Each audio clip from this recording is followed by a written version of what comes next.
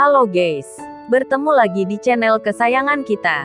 Bagi yang belum subscribe silahkan subscribe, agar tidak ketinggalan kabar terbaru dan terupdate dari channel ini. Dan jangan lupa like, komen dan share-nya ya. Tonton video ini sampai habis ya, biar gak ada kesalahpahaman. Memiliki profesi sebagai publik figur tentunya memiliki risiko yang besar seperti kehidupannya yang terus menjadi sorotan dan menjadi buah bibir. Kehidupan asmara, karir hingga persoalan pribadi pun kerap ditelusuri agar menjadi konsumsi publik.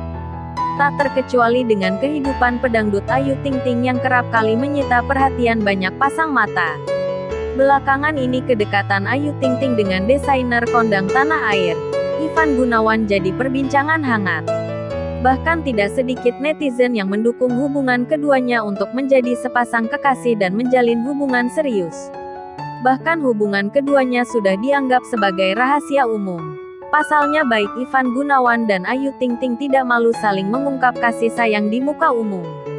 Saking mesranya hubungan keduanya, netizen menduga bahwa Ivan Gunawan dan Ayu Ting Ting sebenarnya tengah menjalin hubungan asmara yang cukup serius. Maraknya kabar tersebut, Ayu Ting Ting pun lantas buka suara terkait status hubungannya dengan Ivan Gunawan. Telah lama saling mengenal dan kerap terlibat dalam satu kerjaan yang sama membuat hubungan Ivan Gunawan dan Ayu Ting Ting kian erat. Yang jelas kalau Igun itu baik banget. Dan dari dulu dia memang sayang banget sama saya. Saya juga sayang banget sama dia. Udah gak bisa lepas ibarat lem tuh udah merekat udah kuat. Ujar Ayu Ting Ting. Meski begitu, ia juga tidak menampik bahwa hubungannya dengan Ivan Gunawan masih belum bisa bersatu. Cuman mungkin memang kita belum bisa menyatu tuh ya belum bisa. Ya mungkin Igun punya alasan tersendiri. Saya pun juga punya alasan tersendiri. Mungkin lebih nyaman kayak gini, bersahabat, ucapnya. Selain memiliki rasa sayang yang besar kepada Ivan Gunawan, Ayu justru menguak fakta ketakutannya jika harus menjalin hubungan dengan sosok desainer kondang itu. Karena saya takutnya kalau nanti sampai misalnya nih, saya pacaran gitu atau di tengah jalan kita putus. Itu malah jadi nggak enak.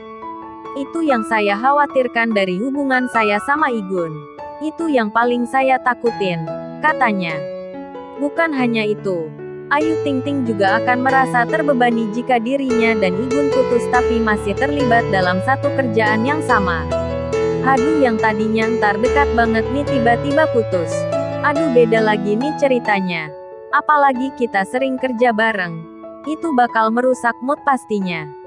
Tapi yang jelas kalau sayang, ya sayang banget. Deket banget. Tutur Ayu Ting Ting. Oke guys, sekian dulu video kita kali ini. Jangan lupa tinggalkan pendapat kalian di kolom komentar. Jangan lupa like and share-nya ya. Terima kasih.